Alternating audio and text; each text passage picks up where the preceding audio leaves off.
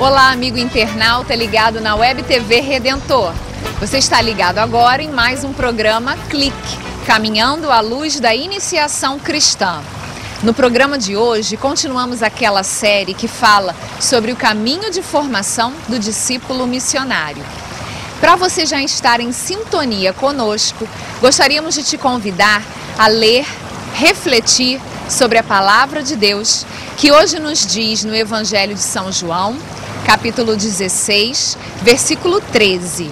É o próprio Jesus que nos fala assim: Quando vier o Paráclito, o Espírito da Verdade, ele vos ensinará toda a verdade, porque não falará por si mesmo, mas dirá o que ouvir e vos ensinará as coisas que virão.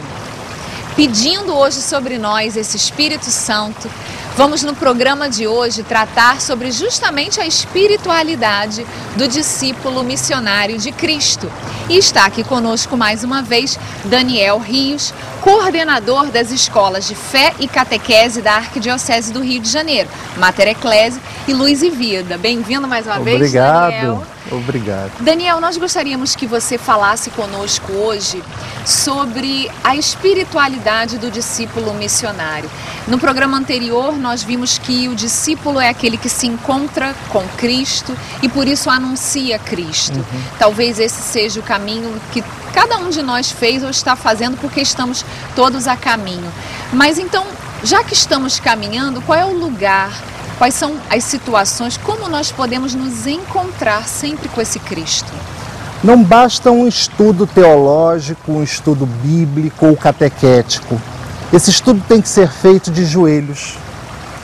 E um estudo com um coração voltado para Cristo. Senão nos tornamos como que um profissionais do templo, técnicos. Passamos, não se ensina a teologia como se ensina a matemática, não se anuncia a palavra de Deus como se dá uma aula de geografia, mas deve ser a ciência do coração. E o lugar preferencial de encontro é a igreja, a comunidade. É lá que eu me encontro com Cristo, que eu me encontro com os irmãos, que eu recebo a força necessária para a caminhada, o viático, ou seja, o alimento para a caminhada, na Eucaristia. Esse é o lugar de encontro, de espiritualidade do discípulo missionário. E aí o discípulo missionário deve buscar a sua força na Eucaristia, na celebração da Eucaristia. Esse é o momento máximo da vida do discípulo, daquele que segue Jesus Cristo e daquele que vai levar essa palavra a todos os povos. Não pode ser diferente, não há outro lugar senão dentro da igreja, na missa dominical, na oração diária, na oração pessoal, no, no trato com o meu irmão, eu devo ser um outro Cristo, cristão, irradiar essa alegria e passar essa mensagem com a vida. Uma só coisa se pede do pregador: que ele faça aquilo que ele prega. Uma alma que se eleva a Deus, eleva consigo o mundo inteiro.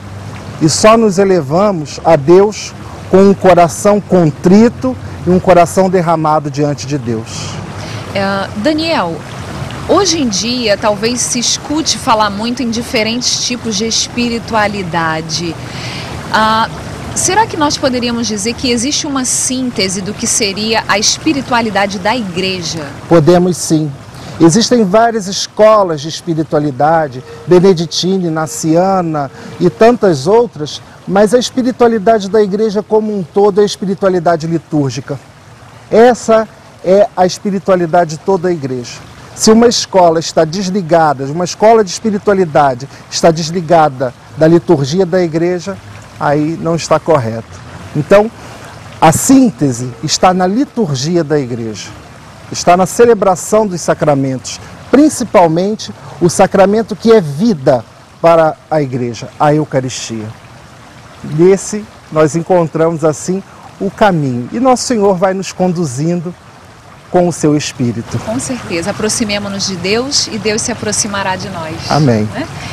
Nós queremos te agradecer mais uma vez e pedimos que você continue conosco e você de casa também, porque nós ainda temos mais um programa sobre essa série muito bacana que a gente está produzindo do caminho de formação do discípulo missionário. Nós nos encontramos então, você sabe, para estar com a gente é só um clique. Até lá!